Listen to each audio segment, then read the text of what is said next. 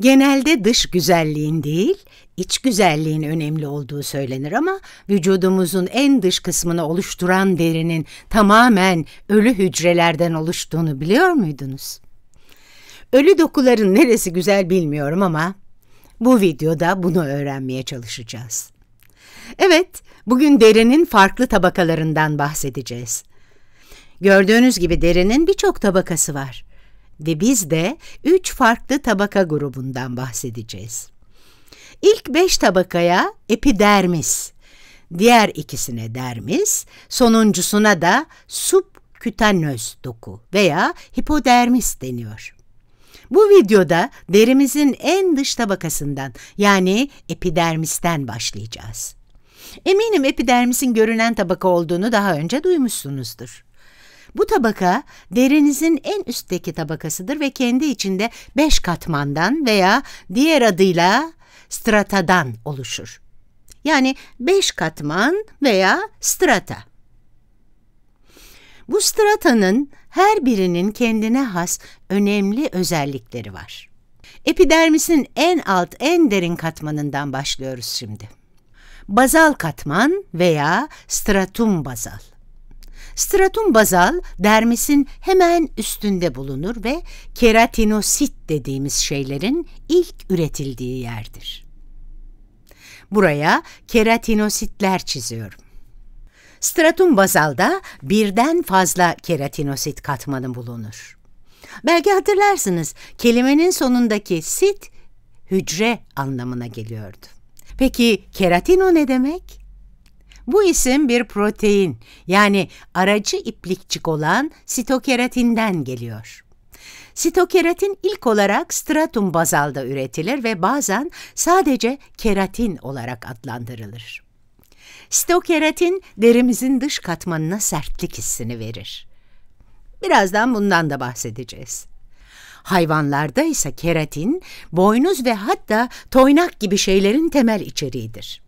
Yani sitokeratin derimizi koruyan sert yapıdır. Stratum bazal hakkında bilinmesi gereken çok önemli başka bir şey ise burada çok hızlı hücre bölünmesi olduğudur.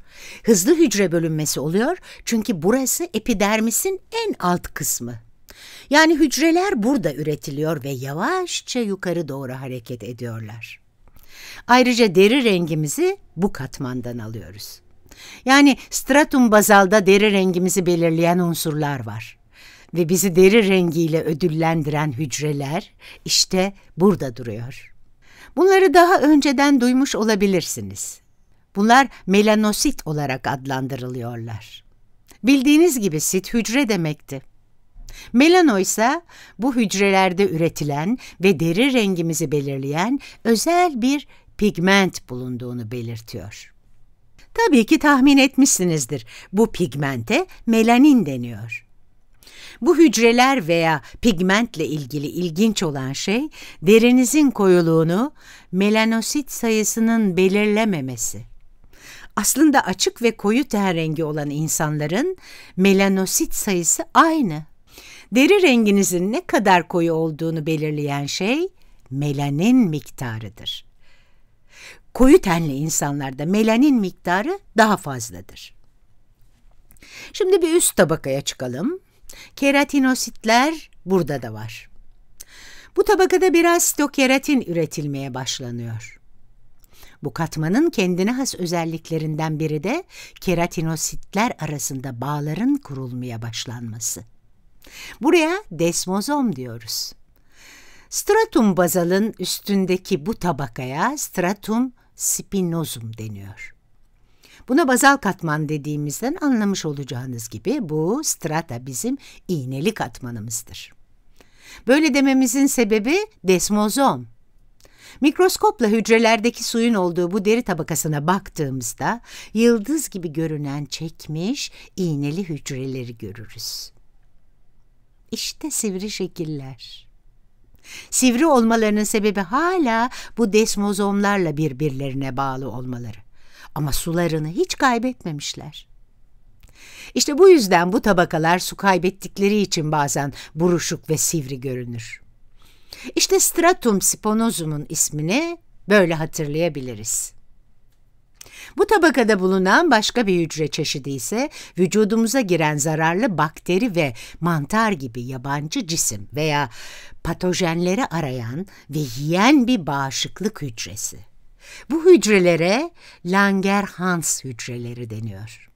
Belki tahmin etmişsinizdir bunlar bağışıklık sistemimizin parçası. Hücreler bu tabakada bulunuyor ama başka tabakalara doğru da hareket edebilirler. Bağışıklık sistemi videomuzda bundan daha ayrıntılı bahsedeceğim size. Evet, bir sonraki tabakaya geçelim. Daha çok yüzeyde bulunan bu tabakaya stratum granulosum deniyor. Yani granüllü tanecikli tabaka. Bu tabakaya granulosum dememizin sebebi burada iğneli tabakadaki desmozomlara ek olarak bulunan keratinositlerin çok büyük miktarda granülleri olması. Bu granüller mikroskopla çok açık bir biçimde görülebilir. Bu granüllere keratohiyalin granüller deniyor. Ne düşündüğünüzü biliyorum. Bu tabakada daha çok keratin mi üretiliyor? Evet, üretiyoruz ama bu granüller bahsettiğimiz keratin veya stokeratinlere ev sahipliği yapmıyor. Keratinleri idare eden başka proteinler de bulunduruyorlar. Bu granüllerin keratinleri idare eden proteinler ürettiğini bilmeniz yeterli. Yani keratohiyalin granülleri keratinleri idare eden proteinler üretir. Çünkü stokeratini hücre içinde hareket ettirirler. Stratum granulosum'un yaptığı başka bir şey lamellar yapılar salgılaması. Bu yapılar bir araya gelerek derinin üstünde sert bir lipid katmanı oluşturan birçok lipid içerir. Bu lipid katman geçirgen değildir ve yabancı patojenlerin derimizde derinlere kadar girmesini ve kan akışına karışmasını engeller. Bunu da deriye su geçirmezlik kazandırarak yapar.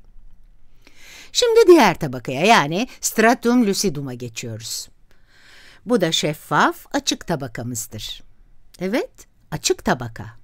Granulosumda keratinositler, keratohiyalin granülleri üretmek ve lamellar yapıları salgılamak için o kadar çok çalıştı ki stratum lucidum'a eriştiklerinde ölmüş oldular. İşte bu keratinositler aslında ölü. Bunlar zombi keratinositler. Mikroskopta da bu şekilde görünüyorlar çünkü daha önce gördüğümüz daha canlı hücrelere renklerini veren çekirdek ve organellerini kaybetmişler. O yüzden bu tabakada diğerlerinde gördüğümüz granül, çekirdek veya organeller olmayacak. Bunun yerine daha şeffaf ve geçirgen olacak. Yan tarafa yazmak için önemli bilgiler. Stratum granulasum mikroskop altında bakıldığında hücrelerimize renk veren çekirdek ve organellerini kaybetmiştir. En üst tabakaya geldiğimizde de bu devam ediyor. Evet burası stratum corneum. Epidermisin ve derimizin en üst tabakası. Ben bunu adli tıp uzmanı tabakası olarak düşünüyorum. Biliyorsunuz adli tıpta otopsi için cansız bedenler incelenir. İşte bu da ölü derinin tabakalarından biri. Stratum corneum'un en önemli özelliklerinden biri keratinositlerin istif halinde bulunduğu katmanlardan oluşması. Bu tek katlı yassı epitel hücrelerinden 15-20 katman olabilir. Dediğim gibi bunlar ölü çünkü stratum lucidum'da ölmüşlerdi. Bu tabaka en üst tabaka olduğu için bu hücrelerin gelişi güzel ve sürekli bir biçimde kopacaklarını görüyoruz. Deriden düşecekler ve böylelikle alttaki yeni hücreler veya keratinositler yukarı çıkacak.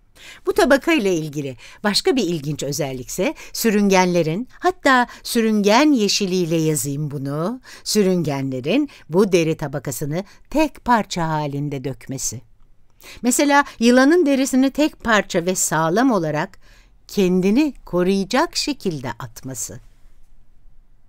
Evet, stratum corneum'un tamamını dökerler. Çok ilginç ve aynı zamanda inanılmaz bir şey bu. İşte epidermisin tüm katmanları bunlar. Toplam beş tane.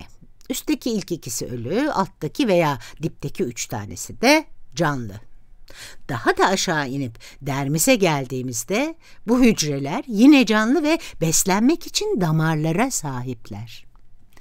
Epidermisin hiçbir yerinde damar yok çünkü besinler ve oksijen aşağıdan geliyor ve buraya kadar çıkıyor.